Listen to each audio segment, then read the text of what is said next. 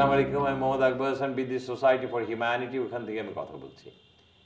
আমি সবাইকে সাদর আমন্ত্রণ জানাচ্ছি। আজকে আমার জীবনে ঘটে যাওয়া একটা গল্প, যেটা আমি শুনেছিলাম, সেটা আপনাদের সঙ্গে তুলে ধরতে চাচ্ছি। আজকে থেকে পঁচিশ বছর আগে আমি খাগড়াছড়ি গেলাম। আমি শহরের দিকে যাব, দেখে একজন লোক হেঁটে আসছে। দেখেই মনে হলো, ওটা আমার সেই ছোটোকালের বন্ধু, মুক্তা। আমি খুব অবাক হলাম। আমি গাড়িটা একটু থামিয়ে দরজাটা নামিয়ে দরজার গ্লাসটা নামালাম আমি দরজাটাও খুললাম। খুলে তাকে দিয়ে তাকে বললাম মুক্তা না? ভদ্রে চমকে উঠলেন। বলল জি আমি বলছি, আপনার নাম মুক্তা না ডাক নাম মুক্তা সে বলে জি। আমি বললাম আপনি আমাকে চিনতে পেরেছেন? সে বলল না। আচ্ছা দেখেন তো আমি সার্কুলার রোডে থাকতাম। আমার নাম শামীম। ও ছলছলা হয়ে আমাদের তাকিয়ে থাকল। বলল, অবাক কথা। স্বামী, তুমি? আমি যে হ্যাঁ মুক্তা, তুমি কেমন আছো? আমি তাকে জড়ায় ধরলাম। মুক্তা, বলো, তুমি কেমন আছো? স্বামী আমার খুব ভালো আছে। আমার ডাকনাম স্বামী। আমি খুব ভালো আছি। তো এখানে কি করছ? ও আমাদের তাকে বলো তুমি কি করছ এখানে? আমি বললাম এটা অফিসের কাজে আসছি। ও তুই কোথায় আছো? আমি ফিলিপসে আছি। আই সি তুই ফিলিপসে আছো। ও, আমি এখানে একটা এনজিওতে আছি। এবং সহকারী কর্তা হিসেবে বলতে পারো সেকেন্ড ইন কমান্ড তা এখন কি করব? আমি আমি এখন মার্কেট ভিজিট করব। তুই ফিরবে কখন? আমি স্যার, ফিরতে ফিরতে নয়টা বাজবে। বা আমি নয়টার সময় আসব। আমি বললাম মুক্তা শোনো, আমরা খুব ছোটোকালের বন্ধু, মনে আছে? টেবিল টেনিস খেলতাম ক্রিকেট খেলতাম ব্যাডমিন্টন খেলতাম। আমরা সেই ছোটোকালের স্কুলের বন্ধুরা। বলে হ্যাঁ। আমি শোনো, তুমি কি নটার সময় আসবে? মানে হ্যাঁ অবশ্যই আমি আসব। আমি বলি শোনো, তাহলে কিন্তু তুই আমার সাথে আজকে রাতে ডিনার করবে। বলে, না না না, তুমি আমার বাসায় যাব না, আমি বাসায় যাব না। তুমি রাত্রে আজকে আমার সাথে ডিনার করবে। আমি নয়টার পাঁচা পাঁচ মিনিট আগে আমি আমার রুমে আসলাম, মুখ হাত ধুয়ে আমি নিচে যেই দেখি যে মুখটা অলরেডি চলে এসছে। আমাদের বলতে তুমি এসে গেছো? আমি হ্যাঁ আমি মুখ হাত ধুয়েছি। আমরা ডাইনিংয়ে গেলাম ডাইনিংয়ে বসে কথা বলছি। ওর পছন্দ মতো ও বাবা বলছে, না, তোমার পছন্দ আমার পছন্দ না, তুমি বলো তোমার পছন্দ কি? সে বলে শোনো তুমি কি রেগুলার আসো আমি হ্যাঁ দুই তিন মাসে একবার তো আসি। বলে এরপরে কিন্তু তুমি আমার বাসায় খাবে। বলছি, কোনো আপত্তি নেই। একসময় আমি তাকে হেসে বললাম মুক্তা মনে আছে আমরা তোমাকে না একটু খ্যাপাতাম ছোটোকালে? বলে কোনটা? কিনে খ্যাপাতাম? ওই যে একজন ভদ্রমহিলা একজন মেয়ে তোমাদের সব ভালো থাকতো। কোন মেয়ে? আচ্ছা তার নাম ছিল শেলি। শেলি? তোমার ওটা এখনও মনে আছে? আমি হ্যাঁ মনে আছে। খেলাম, খেয়ে আমরা আবার রুমে গেলাম। ও একটা সোফাতে বসল।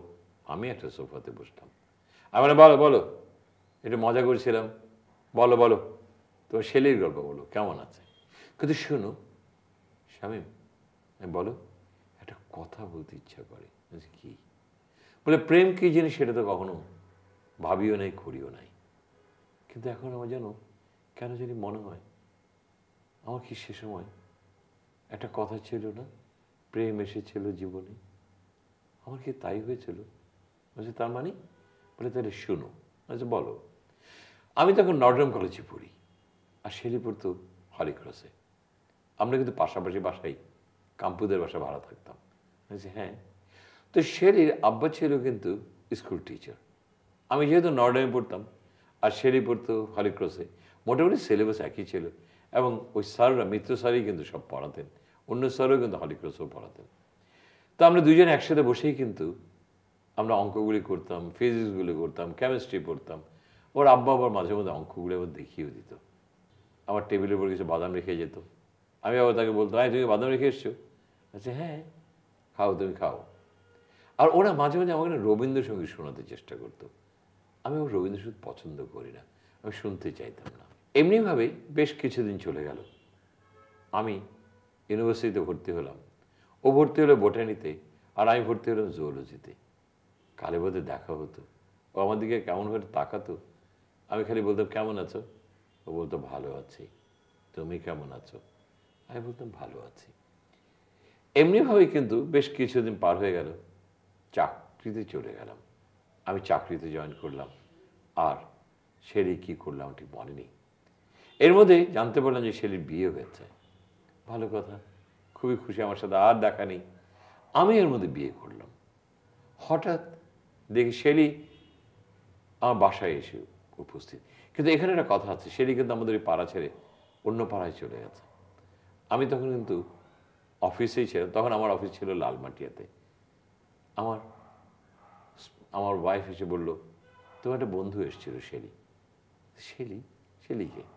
তোমরা বলে একসাথে পড়তে। আচ্ছা ও হ্যাঁ হ্যাঁ কবে আসলো? বলে আজকে এসেছিল সকালে। হঠাৎ দেখতে তার ছোটো ভাই। আহমেদ এসে আমাকে বলল শেলিয়ার পর না? একটা ছোট্ট একটা মেয়ে হয়েছে। আমি খুব অবাক হলাম। ইস, যদি দেখতে পারতাম। কিন্তু আমি তো শেরি বাসা চিনিও না, শেরি বাসায় যাইও না। যাই হোক, এর ভিতরে অনেকদিন কেটেও গেল। হঠাৎ শুনতে পেলাম, শেলি হাজব্যান্ড স্ট্রোক করেছে।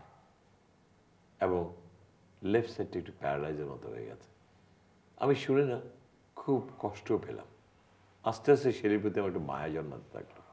আহারি আহারি ভাবতে লাগলাম, ইস, আমি তখন বুঝতে পারিনি। আমি কিন্তু আস্তে আস্তে শেলির মধ্যে আমি মগ্ন হতে থাকলাম শেলিকে নিয়ে ভাবতে শুরু করলাম। এর ভিতরেই কিন্তু আমি আমার অর্গানাইজেশন চেঞ্জ করেছি। আমি এখন যে অর্গানাইজেশন আছি, সেখানে আমি ডেপুটি চিফ হিসেবে জয়েন করলাম। আমি তখন ভালো চাকরি করছি, ভালো গাড়িও পেয়েছি ল্যাপটপ পেয়েছি। হঠাৎ দেখি ওর ভাই আহমেদ আমাকে ফোন করল। শ্যাম ভাই, বাবা খুব অসুস্থ, পিজিতে আছে, বাবা আপনাকে দেখতে চাইছে। আমি বললাম, ঠিক আছে অফিস সেরে আমি যাব। আমি অফিস সেরে গেলাম, পিজিতে যেয়ে দেখলাম উনি কেবিনে আছে। আমার হাতে ল্যাপটপ তাকিয়ে দেখি শেলি অফুরন্ত সুন্দর লাগছিল। সাদা একটা জামা পরা, তার বাচ্চা সাত আট বছরের হবে। ওরে মা এবং মেয়ে, কি যে খেলছে। আমি অবাক হয়ে তাকিয়ে আছি। দে প্লেইং এ বাটারফ্লাই আমাকে দেখে বলল, ও, তুমি কেমন আছো? কেমন একটা অভিমান সুরে আমি সে বলল, ভালো আছি। তুমি কেমন আছো? হ্যাঁ আছি। তোমার জানার কোনো দরকার আছে? আমি না একটা হোচট খেলাম। অবাক হলাম। এই কথাতে আমি বাসায়, আমি কেবিনে ঢুকলাম। আমি কেবিনে ঢুকে খালুর সাথে দেখা করলাম আমি হাতের ল্যাপটপটা নিয়েছিলাম। সেটা মাঝখানে ঢুকলো। ঢুকে বলে ল্যাপটপটা কি রাখা যায় না? আমি বলে কোথায় রাখব? আমার হাত থেকে একটু অভিমান সুরে আমার ল্যাপটপটা আমার হাত থেকে কেড়ে নিল। নিয়ে খালুর বিছনার পাশে রেখে দিল। বলে, বসো বসো। যাই হোক, খালুর সাথে কথা বললাম খালু অনেক কথা বলল। বাবা তোকে দেখতে ইচ্ছে করে। তাই তোকে দেখতে আসলাম।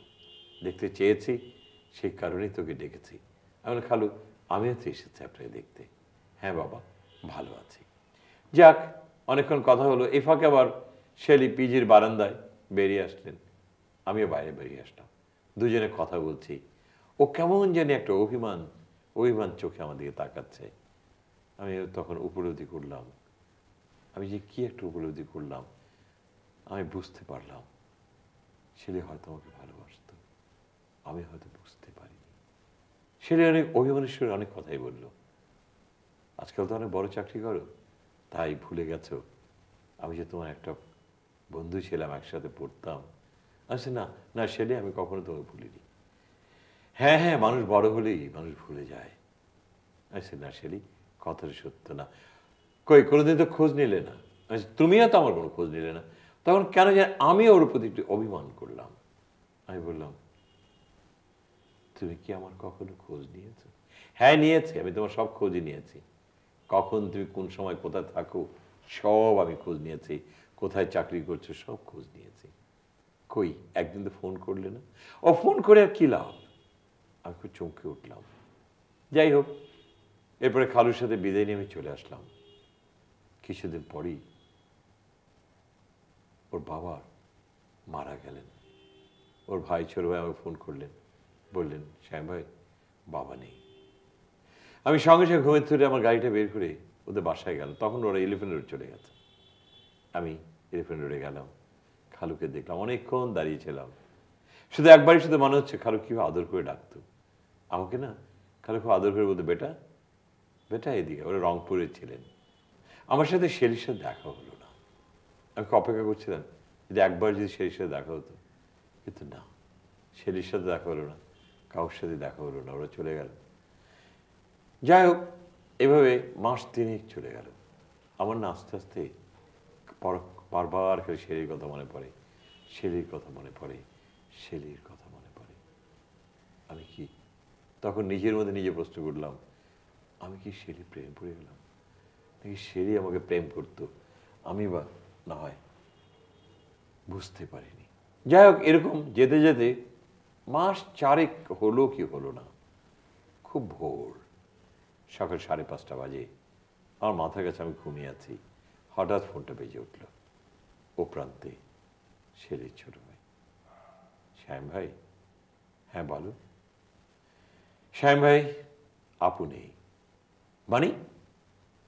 আপু নেই। কালকে রাতে আপু মারা গেছে। আমি আমি স্তব্ধ হয়ে গেলাম। আমি না আমার শরীর নাড়াতে পারছিলাম না। আমি বোকার মতো ওর ভাই ফোনটা কেটে দিল। বোকার মতো ফোনের দিকে তাকিয়ে থাকলাম। কিছু আমার লাভ দিয়ে উঠলাম। প্যান্টটা পরেই আমি ছেলের বাসায় গিয়েছিলাম। বিশ্বাস করো স্বামী, আমি না ওদের গেটেই দাঁড়িয়েছিলাম আমি গেটের ভিতরে ঢুকিনি। অনেক মানুষ আসছে আর যাচ্ছে। ও ছোটো ভাই আমার কাছে আসলেন। এসে বললেন, ভিতরে আসেন। আমি বললাম, না, আমি যাব না। আমি তো আর শেলিকে কখনো দেখতে পারব না। কারণ শেলিকে আমাকে দেখতেও দেবে না। আমি অনেকক্ষণ গেটে দাঁড়িয়ে থাকলাম। দাঁড়িয়ে থাকলাম দাঁড়িয়ে থাকলাম। কারোর সাথে কথা বললাম না।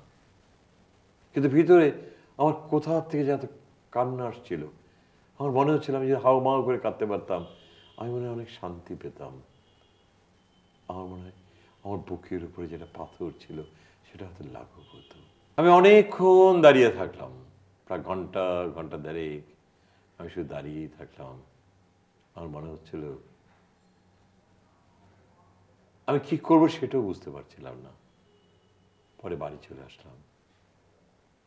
বাসায় আসার পর শুধু একটাই মনে হচ্ছিল সেলি সেই বারান্দায় দাঁড়িয়ে কথা বলা পিজির হসপিটালে খালুর রুমের সামনে। বারবার ওর চেহারা ভাসছিল তার কথাগুলি স্মরণ করছিলাম। বারবার মনে পড়ছিল, আমি কি করি? আমি বুঝতে পারিনি। আমি বুঝতে পারিনি। তাহলে ছেলে আমাকে অনেক ভালোবাসত।